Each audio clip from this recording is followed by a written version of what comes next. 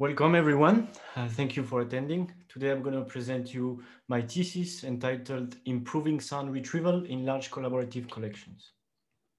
So digital sounds nowadays take a major part of our life, maybe mainly for entertainment purposes. First, in audiovisual productions such as movies, a lot of audio clips are added. A lot of the audio content is added in a post-production process. And this is done simply because the recorded uh, noise and things are, are not appropriate or that for any kind of artistic reasons for augmenting the dramatic impact of the movies, they may add some sounds, exaggerated sounds, for example. In the context of music, a lot of artists and producers use and rearrange uh, audio clips in order to create entire music pieces. There are many other applications such as websites, radio shows, or video game, and more generally in the context of human-machine interface.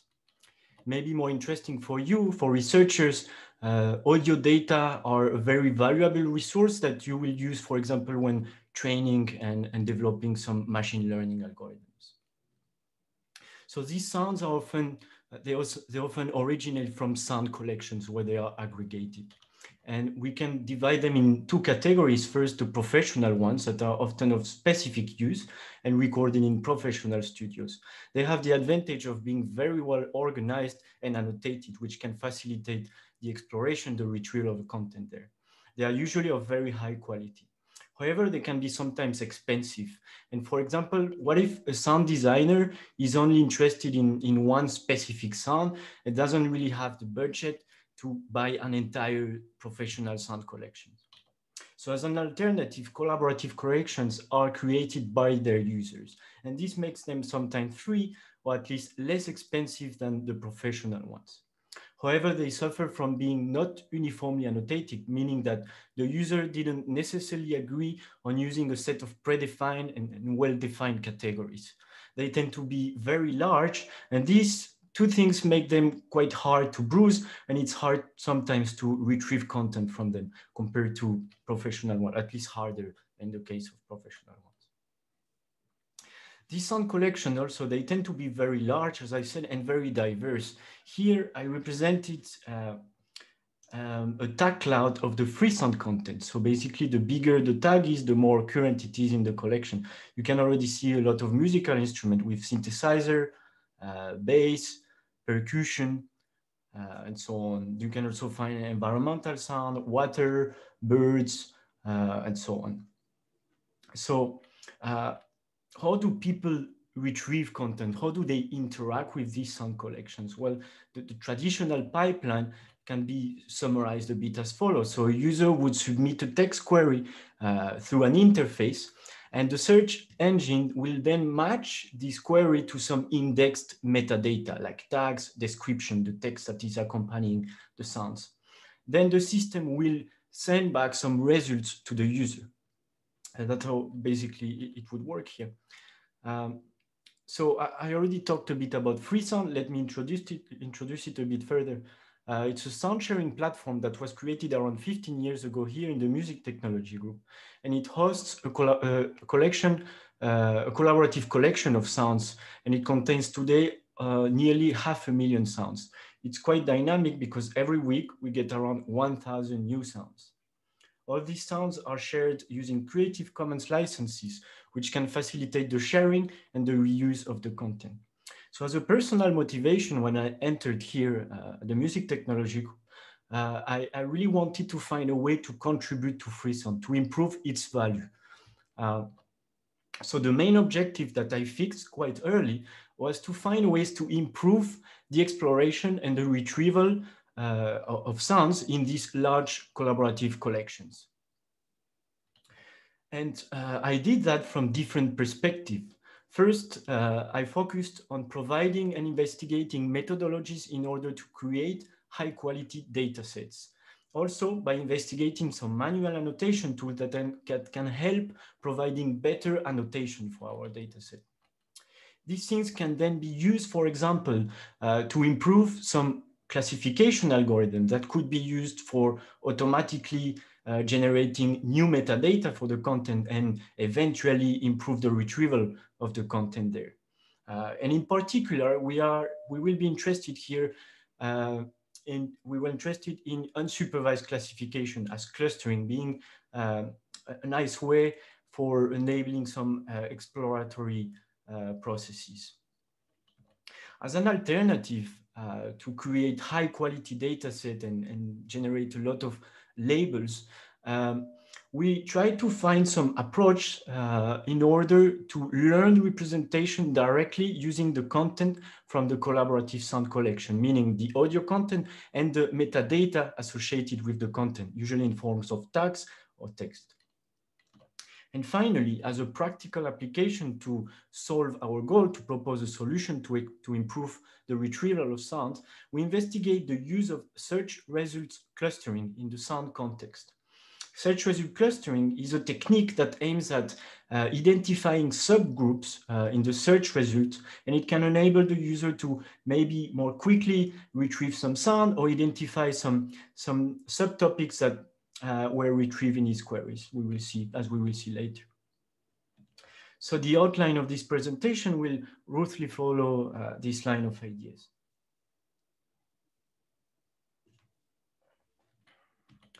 let's start with the uh, first section, um, dealing with data collection and providing some methodologies for building high quality data sets, mostly for supporting researchers' need. So data sets are a key resource for researchers and also creative professionals like sound designers. Uh, in the context of researchers, uh, in the context of machine learning, uh, this kind of data is usually used for developing, for training and benchmarking different algorithms. So based on the usage of this data set, we highlight here some kind of principle that we found important uh, in order to, uh, to facilitate, I mean, to make it useful for their users, the users of this data set. So first, this data set must be large enough in order to support data-hungry machine learning algorithms. The data needs to be completely open so that anyone can just download the data and use it for his own purpose. We want the process of data collection and annotation to happen in a completely transparent manner so that we can detect any flaw or mistake that happen and, and take some actions in order to overcome them we want to have a diversity that is representative of the real world. Depending on the application, for example, if we're interested uh, in developing some models to automatically annotate the content and organize the content from uh, online sound collections, then we want to have data set that covers the wide range of sounds that the collection there uh, proposes. If we're interested in monitoring uh, urban soundscapes, for example, we want to have data sets that cover the diversity that we find in acoustic, uh, in, in, urban acoustic soundscapes. We want to uh, have the creation uh, of the data set to happen in a dynamic manner so that we can improve through times in terms of quality and quantity. And finally, we want all this to happen in a sustainable manner so that through the years, we can get to better data sets. So what do we mean in our case uh, as data set? Well, we simplify it. We consider it as, as follows. First, a bunch of audio files. In our case, Freesound uh, is a particularly situated source uh, of audio files. It is large and, and quite dynamic, so we will get new sounds uh, through, through the years uh, we need a set of predefined categories. And finally, a set of annotations uh, that associate some of these categories to some of the audio files. The categories that we use typically for annotating the content are nowadays usually organized in big hierarchies, such as the one presented here. We call these hierarchies taxonomies, and they're interesting because they can, for example, guide the process of annotation, as we will see later, or they can simply help uh, annotators to understand the categories uh, and their context. A few years ago was released the AudioSet ontology, and it's a taxonomy that has more than 600 classes organized in a hierarchy. Here you can visualize the two first layers of this hierarchy. It was the biggest, I mean, it's the biggest that is publicly available.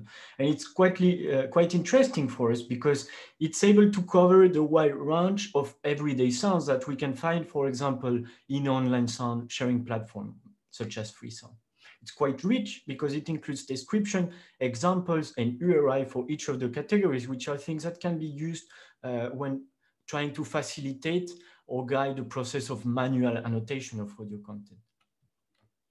So we kind of have all the pieces. We need a source of content with FreeSound, a set of categories with the AudioSet ontology. And finally, I developed and maintained a platform, FreeSound Annotator, where a community of contributors could provide annotations for our dataset.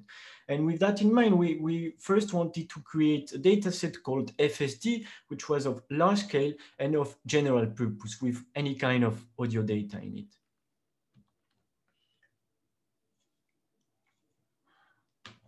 So how did we start um, the creation of this dataset?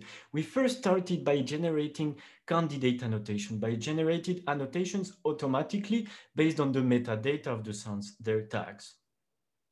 This produced a lot of candidate annotation that we then ask people to validate with this simple uh, task here. So in here, a user is asked to validate the presence of an accordion in the following sounds. This way, we gathered a lot of contributions from different users uh, in the terms of votes. In here is represented through uh, the year, uh, the number of contribution we gathered in the platform. We first uh, started by organizing some annotation events where, as you can see in these pictures, uh, we gathered some people in a controlled scenario. And this enabled us here to, as you can see in this figure, uh, obtain some annotations, some first annotation, uh, test our platform and gather some important feedback that, that was then used to improve the platform and open it to the crowd. We then organized some campaigns and we gathered uh, well, I mean, we, we obtained a lot of co different contributors that provided su sufficiently more annotations there. This allowed to generate in total more than 80,000 ground truth annotations. And these ground truth annotations were used for creating different kind of data set that actually had a really uh, great impact in the research community.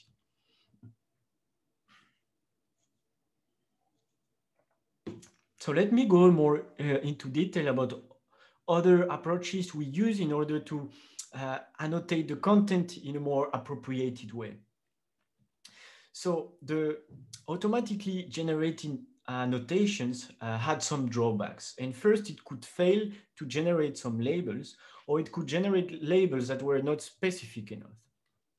So we had the idea to focus on one tool for uh, generating the missing labels, which is called the manual annotator here, and another which aimed at uh, refining, uh, precising further some existing labels with the refinement annotator. Moreover, we wanted to investigate tools that could be eventually add, added into sound sharing platform and um, enable the content, the people that share the content to directly annotate the content. Our validation task was suited more in a post-process scenario where people annotate the content after. No, here we wanted really to also investigate things that can directly beneficiate uh, sound collections. So here is how one of the main feature of the manual annotator looks like. It's this table that is expandable and browsable and conveys the hierarchy uh, within the classes. The refinement annotator lists um, some existing labels and enables the users to specify, to investigate related categories and specify further some existing labels. So uh, we uh, set up some experiments with users.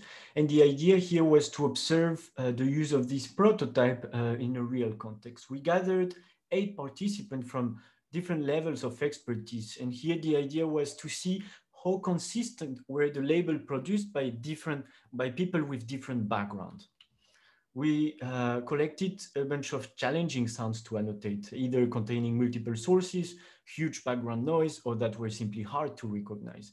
And here the idea was just to put our uh, annotation tools to the test. I, as the examiner, I stayed present during uh, the, the, the, task while they were performing the, the task. I first provided them with some guidelines and explanations. After uh, they finished the task, I provided them with some usability questionnaires and conducted some semi-structured interviews. The results were analyzed using thematic analysis as a way to draw some discussions around emerging and recurrent themes from the participant answers and behaviors. Here are some of the insights. The user found very useful this idea of using a text a text-based search engine in order to retrieve to find categories uh, in, the, in the taxonomy and it provided them a way uh, to find categories using their own word. This was particularly efficient when uh, the annotator uh, recognized the source and wanted to quickly uh, add the category to the content. However, it failed uh, in some cases, for example, when the annotator was not familiar with the vocabulary or when he just didn't recognize the sound source. In this case, uh, the taxonomy table was sometimes helpful. Uh, in here, we represent the hierarchy and we enable people to, uh, as you can see here, uh, expand and bruise uh, this. So it can engage them in an exploratory process where they can maybe learn about new classes and understand a bit more the, the taxonomy and eventually find some interesting categories to annotate the content. However, this can be very time consuming. There are, there are more than 600 categories here. It's impossible to visualize them all at once. Uh, and, and it's also very hard to keep in mind all these categories. I mean, uh, I, I spent years over there and I'm still missing some, uh, some points there. I mean, some categories, it's really hard uh, to use them. So uh, with that in mind, the, the refinement annotator tries to simplify the task by only, only showing relevant categories at each steps here. So as you can see here, we only show relevant categories that can be sibling or uh, children categories in the hierarchy. And the user there doesn't need to have in mind all the ontology and can, can we can maybe facilitate his work there. However, it was observed that uh, several users missed important categories with this approach. Actually, relevant categories are not just the ones that are close uh, in the hierarchy, uh, but they can also be in other places. And, and this way we didn't achieve really um, exhaustive annotation, all annotating all the, the meaningful categories for audio clips.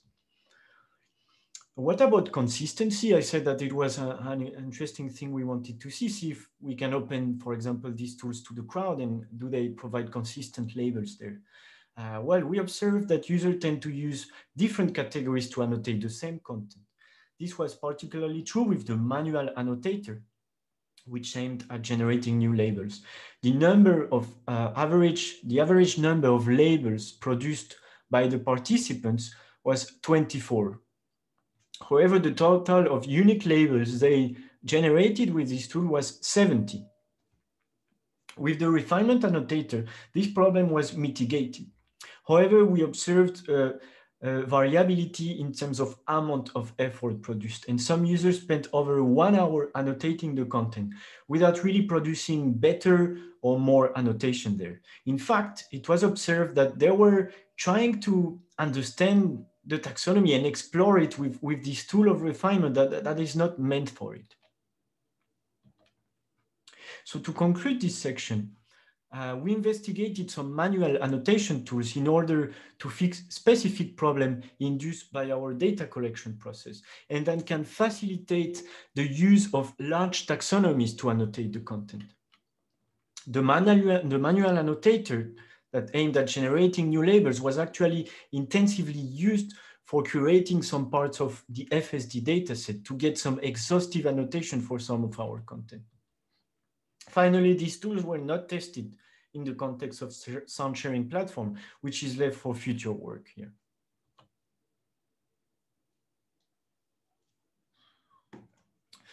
Let's move on into the section uh, where we compare uh, different audio features in terms of performance for the unsupervised classification of sounds, clustering. So clustering is very useful for data exploration as it can find similarities within the data or discover, help discover underlying structures. These methods make use of a similarity measure between sounds in our case. And these measures are obtained by applying some distance or similarity metric over some numerical features, over a feature space. Uh, the audio features that we want to compare are, well, first the traditional acoustic features uh, that were obtained through a feature engineering process where um, people developed some uh, signal processing pipeline to extract numerical values from the data, from the audio, uh, from the sounds that would reflect some low-level characteristic of the content. Recently, deep learning has enabled to learn such features directly uh, directly from the data by training models in classification task or on a self-supervised way. For the clustering approach, uh, we were particularly interested in this uh, graph-based clustering approach, and, and it works as follows. So in this graph, each node represents a sound, corresponds to a sound. And we connect, we connect each node to its k nearest neighbors according to our similarity metric. Then we employ a graph partitioning algorithm in order, in order to obtain the clusters here that are represented as colors here. So there are different ways to evaluate clustering performance, and, and it's actually not that easy. Uh, the literature uh, distinguishes uh, the literature distinguishes uh, internal validations uh, as being some metric use that do not make use of external information. Uh, this metric use only audio features that are thrown uh, to the clustering algorithm. They often kind of uh, reflect how homogeneous our content within uh, a cluster and how distinctive they are from objects in other clusters.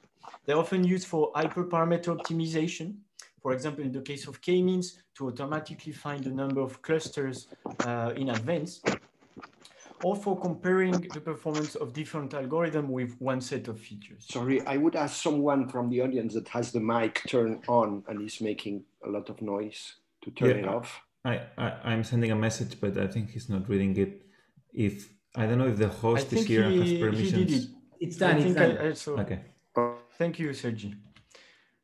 Uh, so let's continue. Uh, I said there were two types of, of uh, metrics uh, to evaluate this. And the second type that are more interested for us are the external validations that make use of some sort of external information that usually takes uh, form as ground truth labels. And luckily we have spent some time and a lot of effort annotating content with some semantic categories, and we can therefore rely on, on such an approach to evaluate our clustering.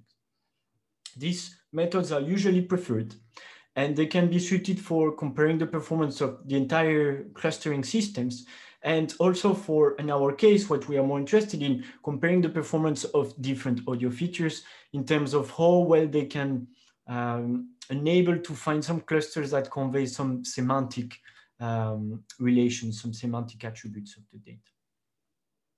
So we designed some experiment where we compare uh, the performance of two clustering methods, first k-means, and then the graph-based approach I just uh, presented. We compare the performance of different audio features. For the traditional one, we use the MFCCs, uh, and for the deep learning models, we use different pre-trained embeddings from the literature. Uh, first, the AudioSet embeddings, which are trained on a supervised way on a classification task. The OpenL3 embeddings are trained on a self-supervised way by taking advantage of audiovisual correspondences in videos.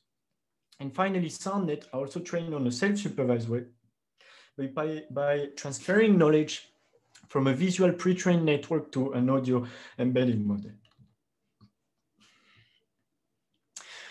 Um, so to evaluate uh, our clustering and, and features, uh, we created several data sets, 44 organized in six families, as you can see in the table here.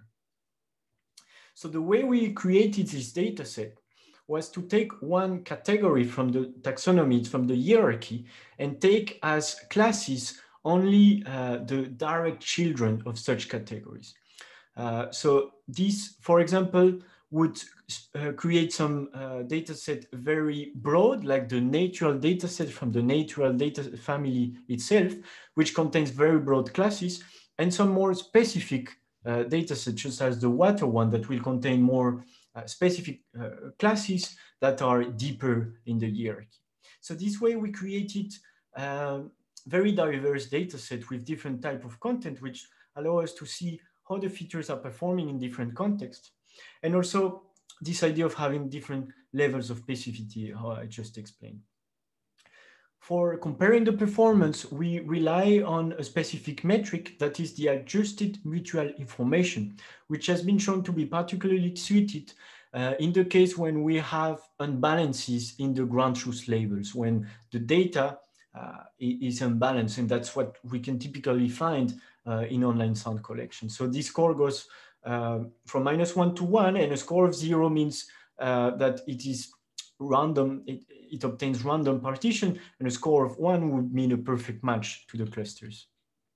So here are some of the results. And in here, we uh, show the average mutual information score average per family here. No, there are several data sets per family. First, we see that uh, training an embedding model on a supervised task is what gives us the best performance here with the AudioSet embedding. Then we see that self-supervised techniques can also enable to obtain embedding models that can be suitable for clustering purpose. And in particular, we see that when we train a model in a particular uh, domain with specific kind of content, for example, the OpenL3 music was trained with musical data only, we obtain better um, performance in the case of musical instrument. And with the OpenL3 uh, embedding trained with environmental sounds, we obtain better performance in the case of natural sounds. So we could, for example, train different models in specific domains and then maybe rely on different of them depending on what type of content we are addressing, we are, we are using now. Finally, uh, SoundNet does not seem to be very suitable for clustering purposes. Uh, although in the context of supervised classification, it provides uh, good uh, discriminative features uh, in the unsupervised scenario, it doesn't seem to help with results very close uh, to randomness. So what about comparing the, the two clustering algorithm? Well, first, the k-means approach has uh, the is that it needs to be provided with the number of clusters in advance. We also observed a higher variability in terms of performance as shown in these box plots here. The k-nearest neighbor graph approach uh, doesn't need to be specified with the number of cluster. However, it has one hyperparameter, which is k, the number of nearest neighbors we consider. And uh, some informal experiments show that as soon as we had a k that was large enough, uh, the, the, performance was not really affected uh, by changing its value. However, keeping a, k value low enough will ensure uh, low computational costs. In here, uh, we plotted uh, the two first components of a PCA representation using the AudioSet embeddings as the features for the wind instrument dataset. So here, each color corresponds to one of the labels, our ground truth here. Here's what we obtain with uh, the different clustering algorithm. And here first with k-means, we see that the clusters uh, represented by different colors here uh, appear very slightly overlapped here. However, when we look at the k-NN graph approach, uh, we see that these clusters appear quite uh, overlapped, which seem to be more corresponding of the reality, our ground truth labels here. So here the conclusion, k-NN graph seems to be um, more useful or it's more easy with it to discover higher dimensional structures within our data. So to summarize this part, well, we first compare the performance of different features uh, for clustering purpose using different data sets uh, to, so to have the idea of performance in different contexts of use. Uh, we show that training, uh, that deep learning embedding, sorry, can be used for clustering uh, purposes in the context of diverse sound collections. Uh, training embedding models in a specific domain may provide better results within this restricted domain.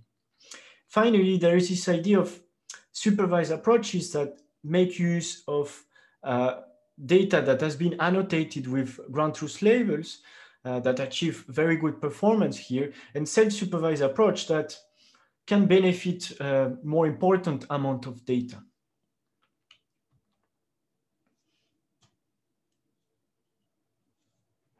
So let's move on into the next part. um, providing some methods in order to learn audio representation directly using content from the sound collaborative collection. So instead of building data set and use labels, um, uh, manually annotated labels to train our embedding model or by training it in a totally self-supervised way, we want to find an in-between where we take advantage of the content and the metadata provided in this platform and see what we can achieve in terms of learning representation that can serve as a base for different purposes.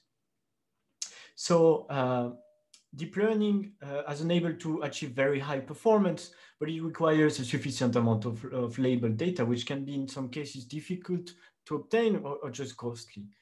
Uh, today, we can find a large amount of real-world recordings available online, but its exhaustive annotation would require a lot of effort. So the objective, as I said before, is to learn an audio representation that can serve as a base for different applications uh, in the field of machine listenings. We want to take advantage of uh, online audio content, which is very diverse, that is present in large quantity, but that is weakly annotated in the sense that uh, the user didn't necessarily agree, agree on using some specific categories to annotate the content, but rather use some kind of free-form text or tags uh, to annotate the content with their own word. So we took inspiration from different works from the literature, and one of them is this idea of contrastive learning in a self-supervised way. So in here, the authors uh, use some image so in, in this example here, X, one Im image, and if they apply different transformation, they apply some different data augmentation methods and obtain different image here that are associated. They originate from the same image. They then input these images to a neural network, the function f, and obtain some latent representation. These representation are then thrown to uh, what we usually call projection heads. And finally, here we obtain Zi and Zj, which are where we try to push uh, to bring them closer in the embedding space and push them further away from any other content within a batch when training. Another interesting work is this idea of aligning the representation, the internal representation of autoencoders.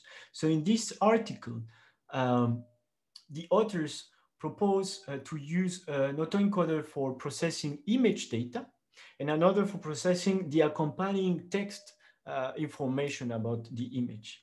And to the traditional variational autoencoder approach, they add some cross reconstruction losses that they aim from one modality embedding reconstruct the other modality. So in here, from the text embedding, re reconstruct the image, vice versa. And also adding some distribution alignment uh, losses here. So this way they were able to infuse some semantics from the text-based model into the image-based model. And the context of use was zero-shot learning, where they aimed at providing, uh, developing some classifiers that could uh, predict classes that were unseen during training. For example, here nothing appears about a, a bird, but these kind of properties maybe can help then uh, to assess if this is a bird or not. So in our case, we were very interested in this idea of autoencoders. It's you can, uh, in a self-supervised way, take any data, make use of any data. But we wanted to uh, relax the alignment uh, methods and, and use it more in a contrastive learning approach. I mean, use some more contrastive learning approach. So in here we use one autoencoder for processing audio and in particular the spectrogram extracted from the audio. And another autoencoder for processing the tags. The tags here are represented as multi-hot encoded vectors. Um, and we then uh, add some projection heads and finally maximize the agreement here, align these two representations in order to infuse some semantics from the tags into the audio embedding model. So the result is this audio embedding model here that can be used then as a feature extractor, as we will see later. So to train that, we use data from Freesound. We collect more than 200,000 audio clips and extract two second spectrograms. We consider uh, 1,000 tags for describing this content. We use different losses for the audio reconstruction, the tag reconstruction, and finally for the agreement loss, for the alignment, we rely on the NT-Xent loss, which was the one used in the first paper I mentioned. For the architectures, uh, we go for some fully convolutional uh, neural network for the audio encoder. For the decoder, we use the counterpart of uh, convolutional transpo transpose convolutions. For the text model, um, we use fully connected layers here. And finally, these uh, projection heads here are kept very simple.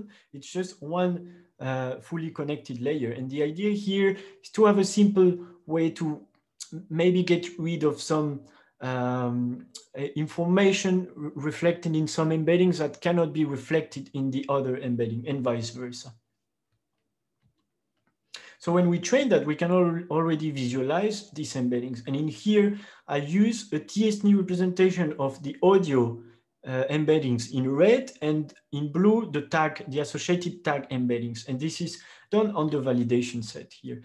So you, uh, one thing is that I draw a line between the associated audio embedding and the tag embedding. So we can see how they, they relate there in this space. So we naturally see some clusters that are mapped to other clusters in the other modality. When we inspect a bit more, um, we see that sometimes uh, some tag embedding are close from each other uh, in the space, but their associated audio representation ending, end up far from each other here. And uh, here we have two cymbal sounds.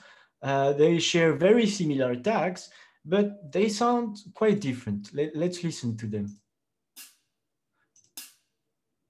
So this is a hi-hat that is very short.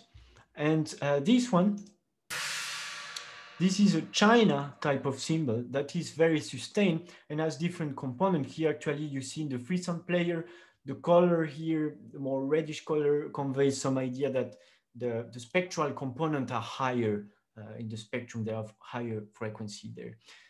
Um, on the contrary, here we have two examples that are close from each other in the audio embedding space, but their associated tag representation are far from each other. And uh, this sound here is a, a drop splashing into water.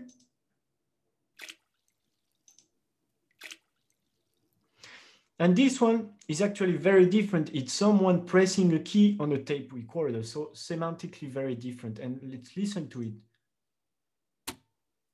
Well, it is quite different perceptually. Maybe they just share in common that they are very brief there. Uh, a final example, in here we have again two audio representations that are close from each other and their tag representation and they're far from each other. So let's listen to them.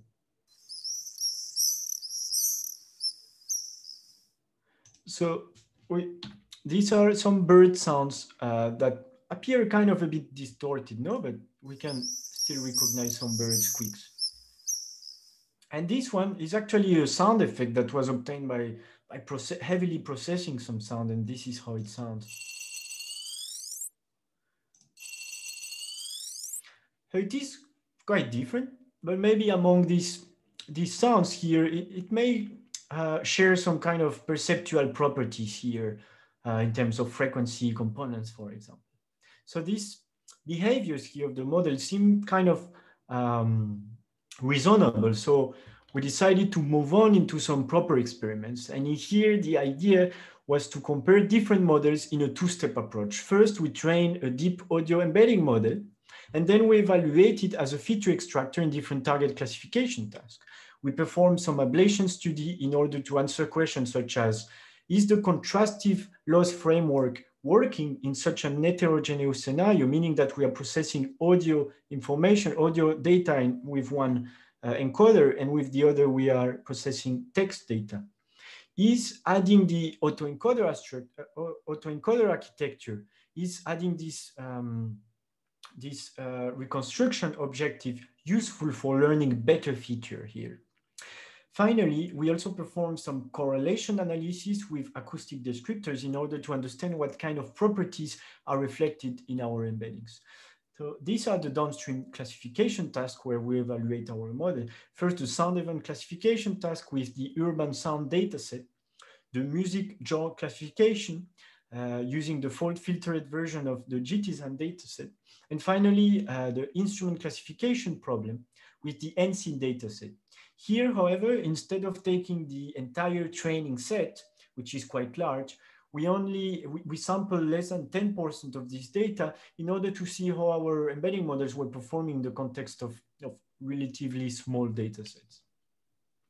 So here are the results when training a multi-layer perceptron uh, with one hidden layer and uh, 10 uh, as output here, we always had 10 classes in these data sets.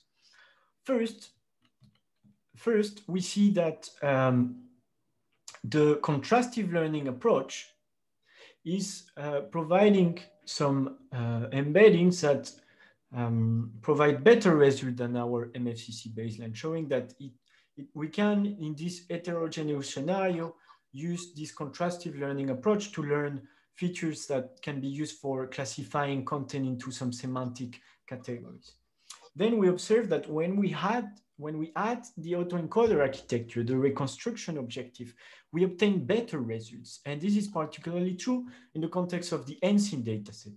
NSynth contains a lot of very short one-shot sample, instrument samples. And therefore, the intuition here is that uh, an autoencoder based on spectrogram may be able to capture some, uh, by itself capture some low-level characteristic of the content related to his timbre. And that may be quite suitable in this, in this task here. And this, is a, this intuition is a bit more validated with the correlation analysis we perform. So in here, uh, we display the canonical correlation with some acoustic descriptors um, and um, um, and here we do it with the mean statistic of these features. So we, we see that when adding the autoencoder architecture, uh, we have better correlation, for example, with the MFCCs, it is quite clear, and, and it corresponds to some, I mean, it represents some aspect of the timbre here. Finally, uh, with the chromagram features that are maybe more relevant in the context of musical content, which is a task where our features didn't work that well. We don't find a, such a, a good uh, increase in terms of uh, uh, correlation here. Sorry, there is someone again doing some uh, noise. Could the person uh, mute itself or himself? I'm sending a message as well. Thank you. You don't have the the. You don't have the power, uh, Lydia. yeah, Lydia could, could could mute the people. Yeah, I don't know if she's here. I don't know. Maybe Xavier, you can contact her because we don't have uh, Lydia. I mean, because we don't have um, permissions to mute other people, and apparently there's she's I will try to contact Lydia, but I don't know if. I think that's what. Person Emilia Sanchez, no, she's. She, I, am sending email. I messages. Okay, thank you. Well, I will just try to ignore it and and uh, uh, and continue. It's a bit disturbing. Anyway. Ah. Um. Why I don't have the hand on that? Sí, que que lo estoy viendo. I don't know. Okay. Um, now, now it worked. Okay, thank you. um, so where was I? Sorry. So we saw that the, the correlation in some cases increased when we added this reconstruction objective, which is which is fine. It seems that this feature can be used in more context of use, and particularly for classifying instrumental uh, music instruments, it, it was beneficial. What about the clustering performance? Are the embeddings we learned can be used in the context of clustering? And in here, we perform again the external validation that I present in the last section. But here we could not use all the data because uh, most of them, a lot of them was used for training our embedding model. So we, we made sure to remove it there. However, we can find uh, similar uh, kind of trends, the audio set embeddings are still performing better than the other. However, in some cases, we see that our features, our embeddings, uh, can provide good performance here, which is encouraging.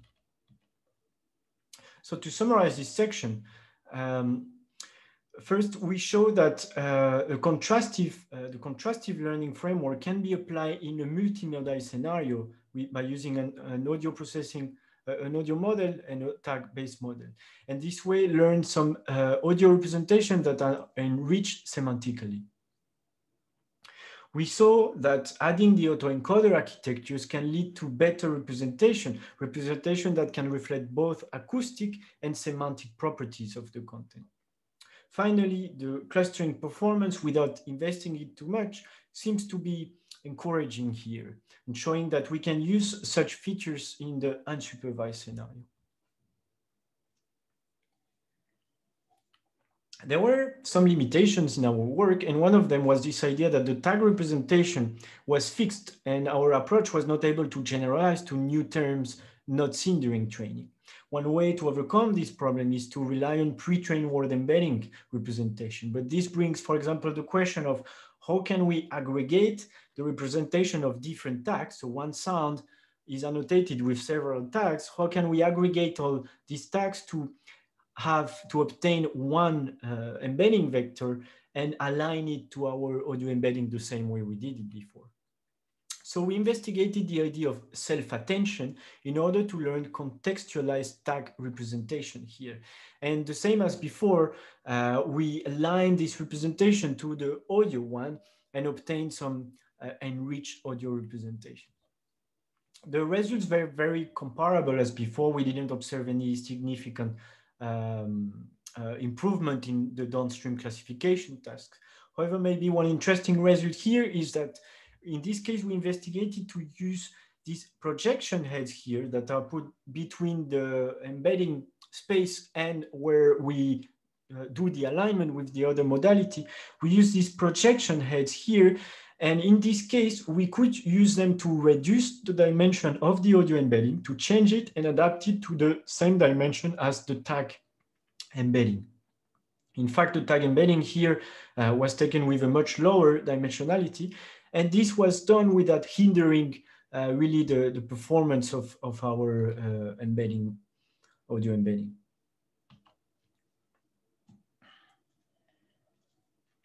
So let's move on into the, the next section, which um, treats this practical idea of search result clustering uh, in the context of sound and that could help to directly um, um, improve the retrieval of sound in collaborative sound collections. So as I said at the beginning, uh, these collections tend to be quite large and very diverse. Um, as an example here, the dog query in Freesound retrieves more than 4,000 results and the first result is a dog toy. The second one is a dog barking. And the third one is the sound of a dog walking. So the user may have to go through a lot of irrelevant results until he can uh, find uh, the sound, retrieve the sound that satisfies his particular need in his task. So one uh, solution to overcome this kind of problem is this idea of search result clustering, which aims at identifying some coherent groups in the results and enable the user to identify some useful subset in their results. As an example here, uh, the Google image search engine provides such a feature. And after submitting a query, appear these kind of labels here at the top that identify here uh, some characteristics of the dog, such as their age, like if they are babies or no, uh, some races of dogs, some characteristic as the color of the dog, or even the type of image, uh, the drawing here, if we want some drawings. In the context of web document, this has also been studied, and there exist some, uh, some tools for doing, uh, for performing such an approach. And here, one of them here displays the cluster using some facets uh, that they call folders and enable the user to filter the results uh, from their search here and visualize them. Uh, these uh, YIPs probably uh, the, where uh, such a feature is available with a collection of a very large collection of document of web document indexed here. And you can see the clusters are also shown as facets and they convey some kind of hierarchy here to help the user understand what kind of content uh, is present here in different clusters. So in our case, how do we do that? Well, first the user performs a search, submits a query to the system. We uh, retrieve some results. Then these results, uh, we extract audio features from them and we perform some nearest neighbor searches. We then build uh, nearest, we, we build the k nearest neighbor graph and we apply some graph partitioning algorithm commonly known as community detection algorithm in order to extract the clusters. These clusters are then shown to the users with different visualization interfaces that enable them to interact uh, with these results. We wanted here to find some ways to evaluate our system in its context of use and without necessarily having to rely on external ground truth data that can be costly to obtain.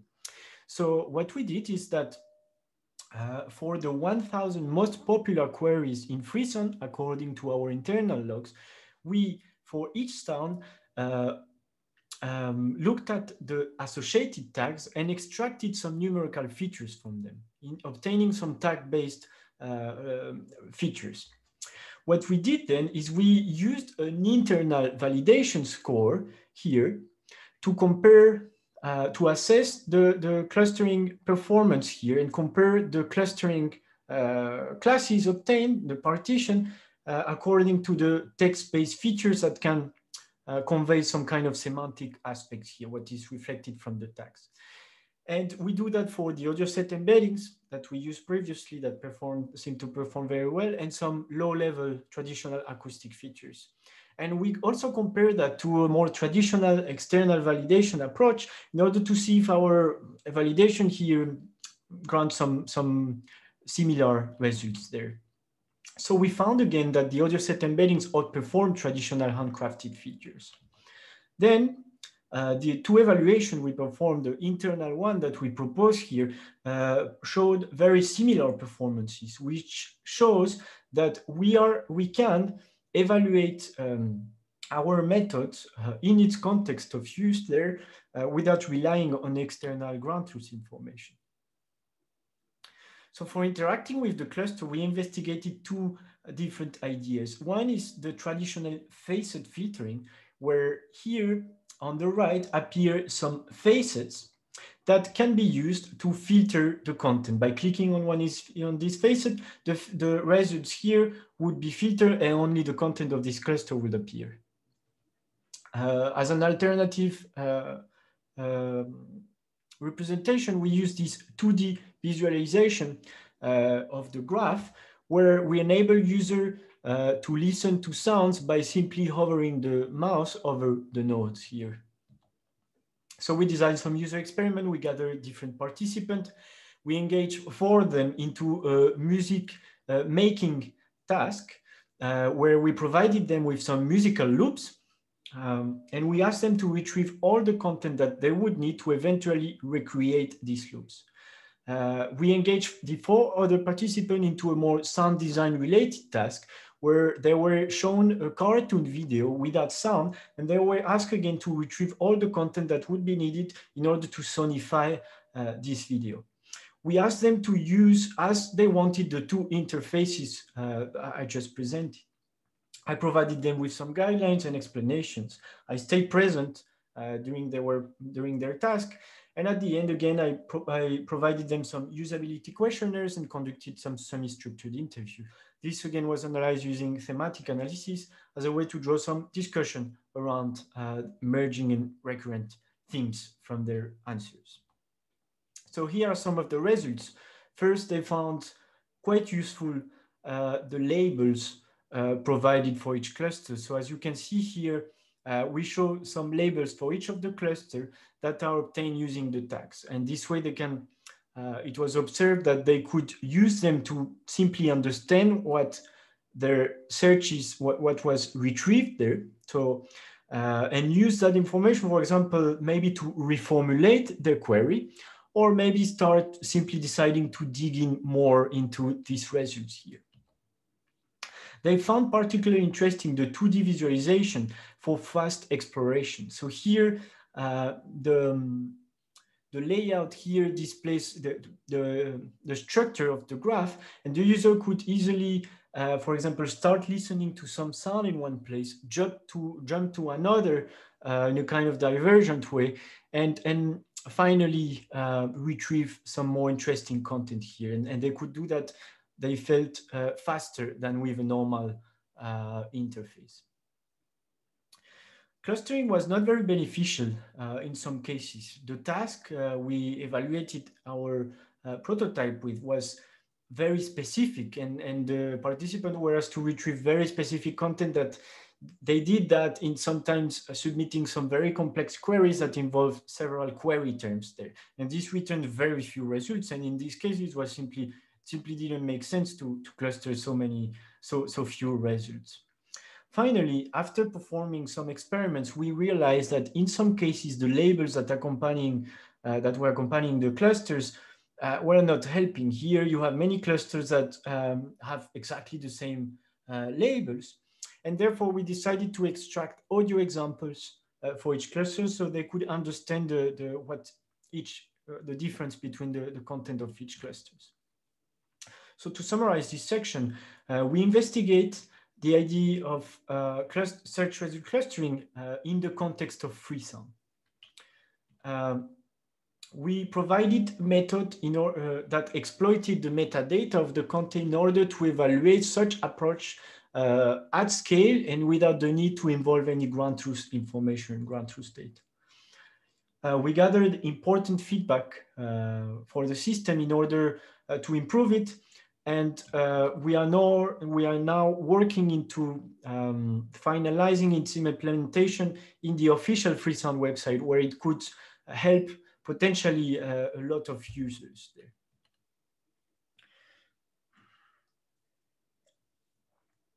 So let's start the conclusion. Let's finish with the conclusion of uh, my presentation. And uh, the main goal I, I, tried to address here was to improve the exploration and the retrieval of sound in large collaborative collections. And we did that from different perspectives by first providing some methodologies for building high quality data sets for supporting mainly researchers' needs. We investigated manual annotation tools that can enhance the ability to user to understand and use large taxonomies to annotate the content.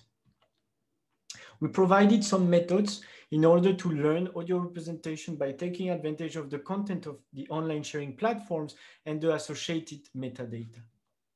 We provided different methodologies in order to evaluate features and methods in the context of unsupervised classification of sounds. Finally, we investigated the use of search result clustering applied to sound and integrated into the Freesound platform. So most of our work was uh, published or is under review process in different journal or conference papers. Uh, that's all for me. Uh, I would like to thank, uh, of course, my supervisor, the tribunal that is here, and anyone that uh, I co collaborated with or any colleagues, uh, anyone in particular. Thank you very much.